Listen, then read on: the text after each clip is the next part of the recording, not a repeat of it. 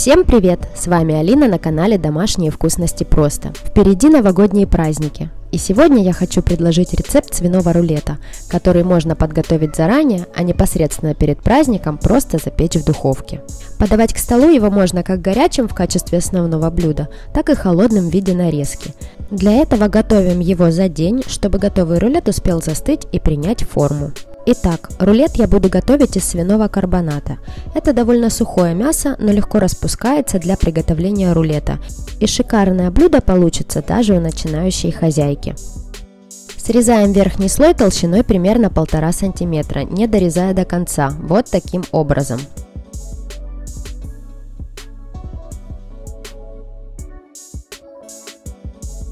Раскрываем, переворачиваем и снова срезаем верхний слой такой же толщины, не дорезая до конца.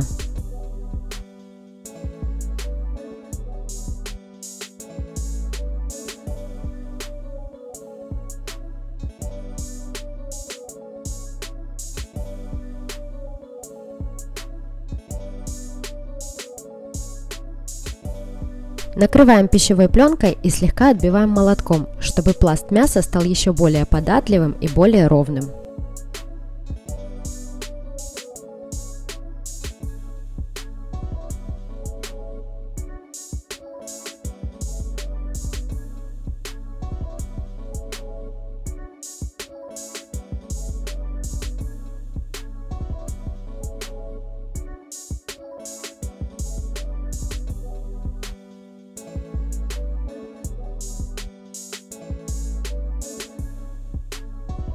Чтобы рулет получился сочным, я взяла вот такую грудинку. Также подойдет под копченый бекон.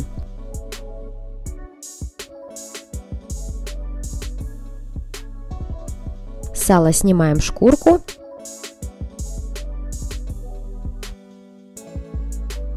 И нарезаем тоненькими полосками.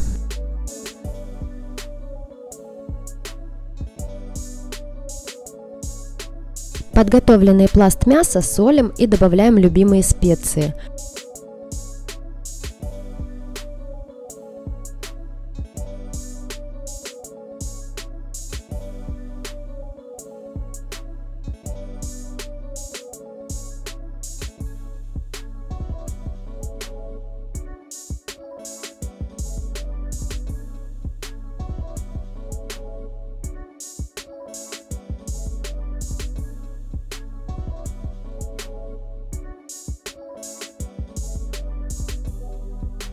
Хорошо натираем чесноком, пропущенным через пресс, и перчим.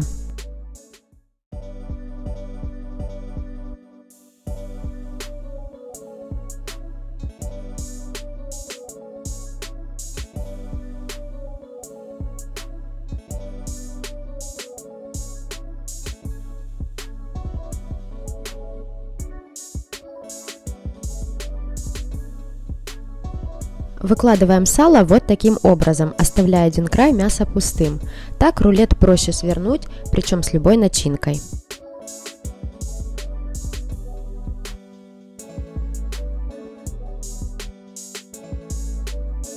Итак, рулет свернули, сверху присаливаем, посыпаем паприкой для красивого цвета и смазываем растительным маслом.